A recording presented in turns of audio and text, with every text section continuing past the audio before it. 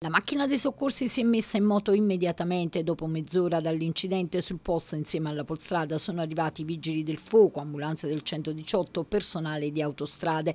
Nello stesso tempo sono stati allertati gli ospedali di Ariano Irpino, Avellino e Benevento. A 10 minuti più 10 Rosaria Bruno, responsabile dell'emergenza territoriale del 118, ha raccontato come si sono mossi nell'immediato i soccorritori.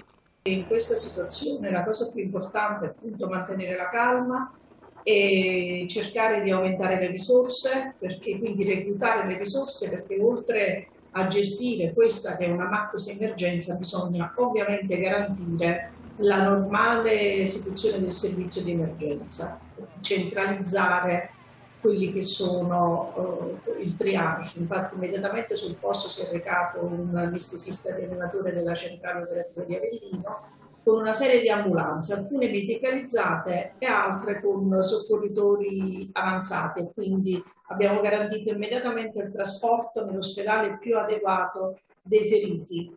Abbiamo immediatamente avvertito che non si trattava del solito incidente ma che c'era una maxi emergenza quindi immediatamente ho dato disposizioni per aumentare gli operatori all'interno della centrale per cercare di seguire l'evento step by step. Quindi eh, da quel momento in poi c'è stata una continua interlocuzione sia con la centrale, sia con i medici sul posto, sia con i soccorritori, e anche e soprattutto con i vigili del fuoco. Il prefetto di Avellino Paola Spena ha seguito direttamente le operazioni di soccorso, fondamentale la collaborazione tra i soccorritori, come sottolinea il comandante dei vigili del fuoco Mario Bellizzi.